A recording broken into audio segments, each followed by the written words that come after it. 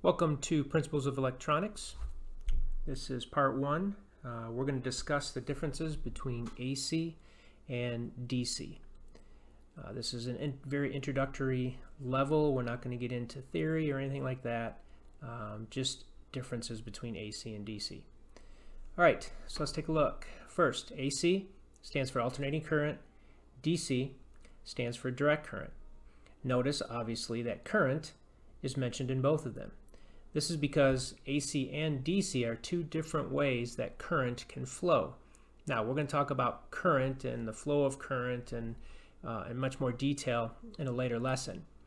But the differences between these two are, are, uh, are pretty large. I'm going to start with just drawing a graph of what would be a typical AC current.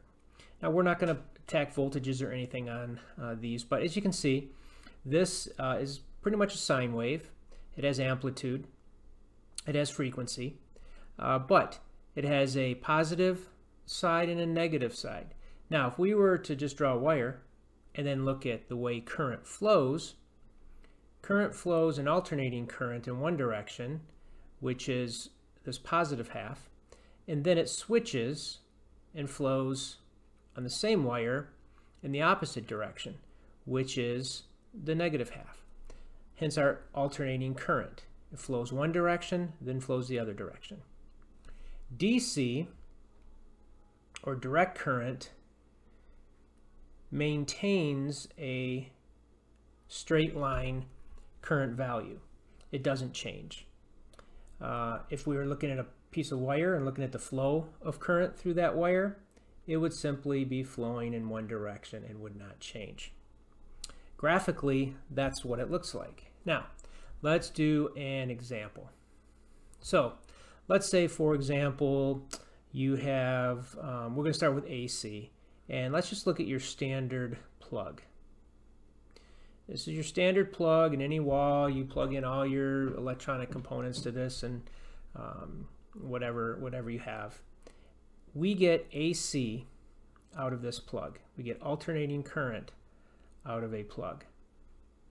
Now, that AC current is, uh, or that alternating current is, um, you know, created somewhere else, and this is where we get it into the home. DC current,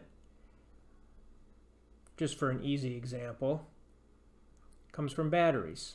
It comes from other sources, but battery, I'm sure that everybody's familiar with batteries. So a battery is a source of direct current or DC. Now, you can, which is one real nice thing about AC and DC, is convert between um, each of them. So you can go AC to DC, or you can go DC to AC.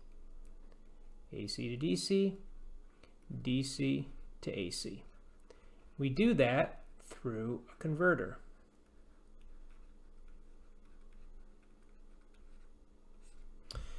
Now, everybody that I'm sure is listening to this right now and watching has used a converter.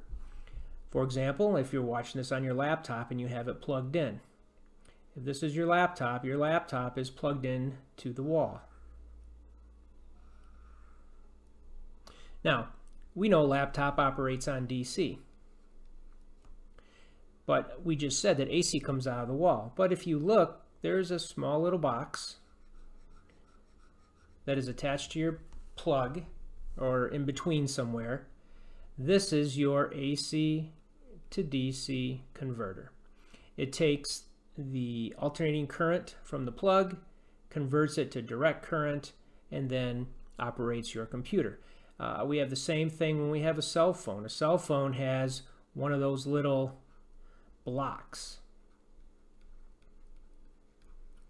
And then that block goes to your phone, and then charges your phone. This is that converter. That block is the converter. It's taking the AC here and converting it to DC for your phone. All right, there is a very simple explanation of AC and DC. Just to recap, AC is alternating current, DC is direct current. Alternating current flows one way and then turns and flows the other way. Direct current does not change direction, it's constant. An example of where we get alternating current is from a plug in your house. An example of where we get direct current is from a battery, 9 volt, AA, AAA, doesn't matter.